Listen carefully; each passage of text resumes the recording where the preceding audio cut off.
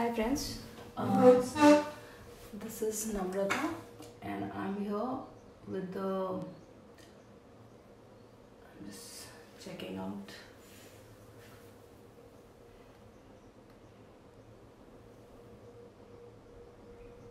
Actually, I'm unable to see how many people have so far joined me. Uh, if you have, kindly just give me a yeah 30 people have joined. Okay so let me start by saying that i do kerala murals the traditional way. I have learned from traditional artists and uh, i basically uh, teach the proportions the measurements and then i uh, do it. But for students nowadays people i might not be able to answer your comments because my phone is on the stand but uh, i'll answer them as and when i can. Okay so let me start with the materials that i use. Uh, i use canvas in various forms. Uh, the one that i'm using currently is a stretch canvas that is a canvas in a frame. It comes like this. This is a smaller version.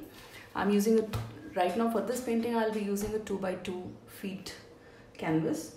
So this is one that I use and love this because you don't have to do anything just varnish it and then it's ready to hang up.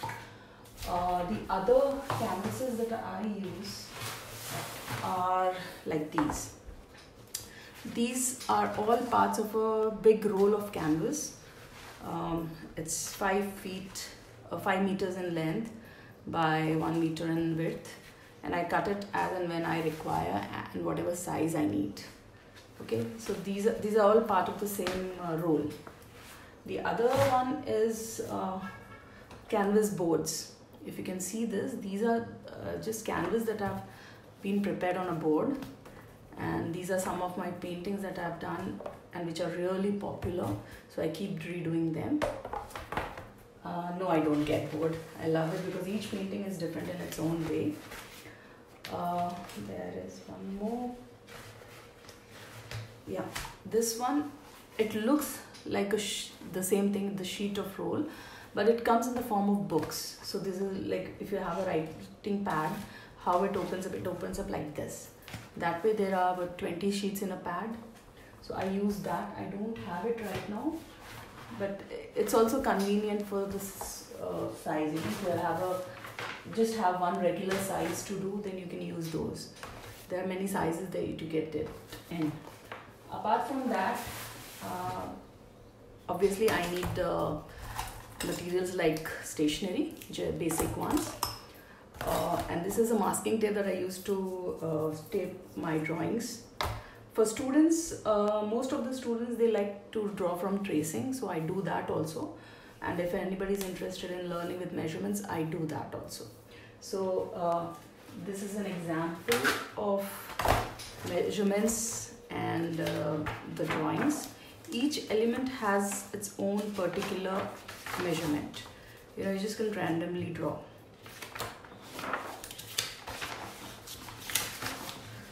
So like these you know all the drawings all the measurements and every design is named every element is a particular uh, name it has okay and uh, definitive uh, I should say proportions uh, okay so this is uh, Kesha Pushpa that is used for adornment. These are Mashipu. This is this is the basic uh, pattern that you find in Kerala murals. So this is what I do.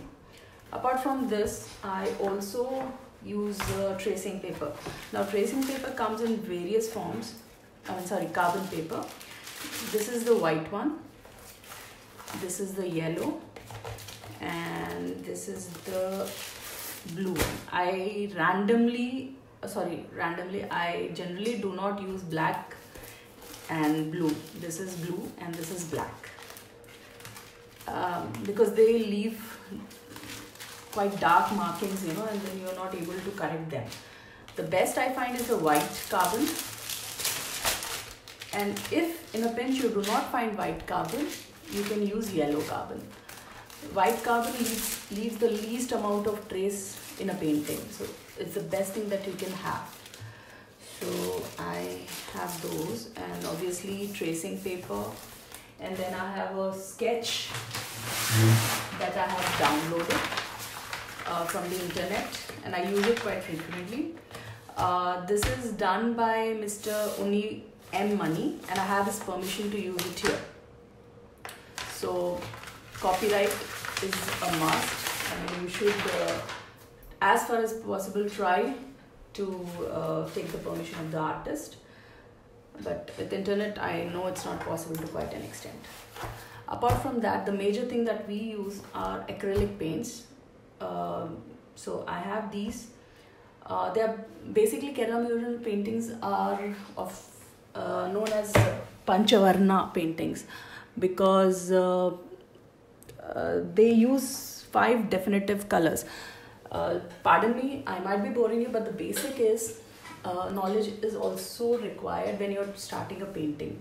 So Kerala mural paintings were uh, initially done on temples and uh, other places, community places.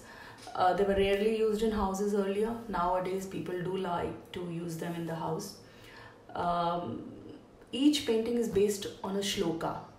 So the way of the position of the hands, the position of the body, head, everything is defined in shlokas, and uh, this is what is taught in uh, uh, Kerala, where they have huge uh, institutions, the old type gurukuls to teach these, and it takes anywhere between four five years for a student to learn.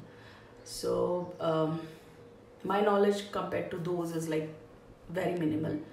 Uh, but what I uh, my teacher has taught me is that uh, the uh, walls were first prepared uh, particular emphasis for as a base for painting.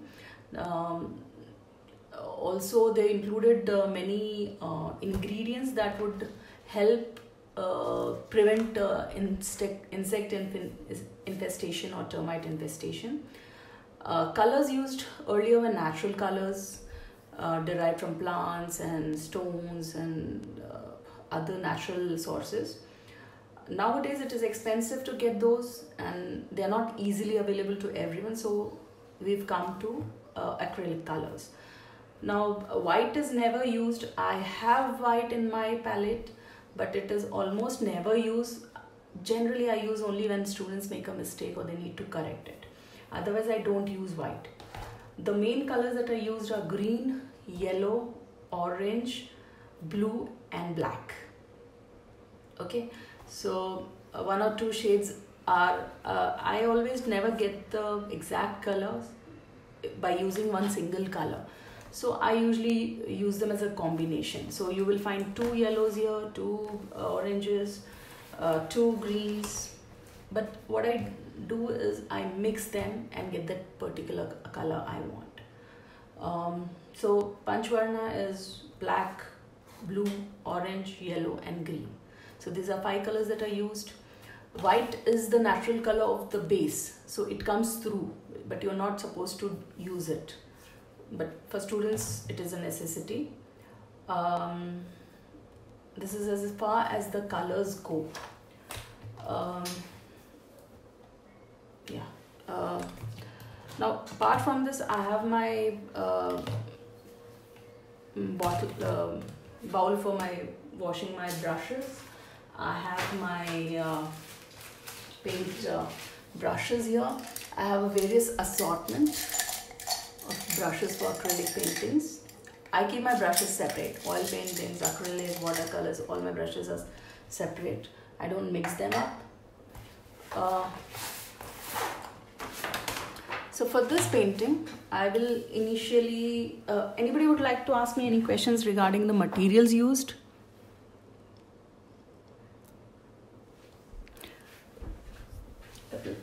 I can go on and on about the paintings, the background, the history, but I don't want to kind of block up this place.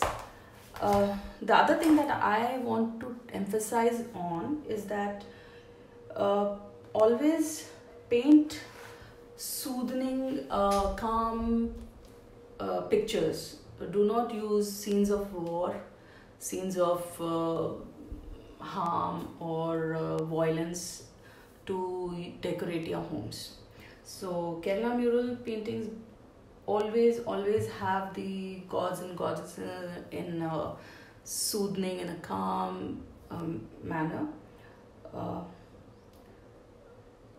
uh, there are paintings of uh, the Gita also, uh, but uh, I don't do those. Um, personal this thing, I want uh, people to have good aura in their homes.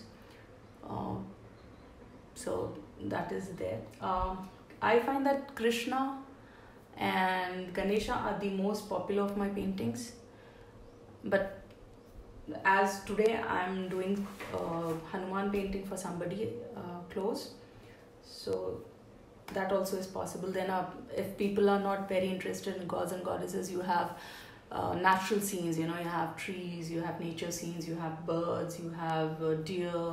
Those also you can do. You have lotus pond. It depends on what your preference is.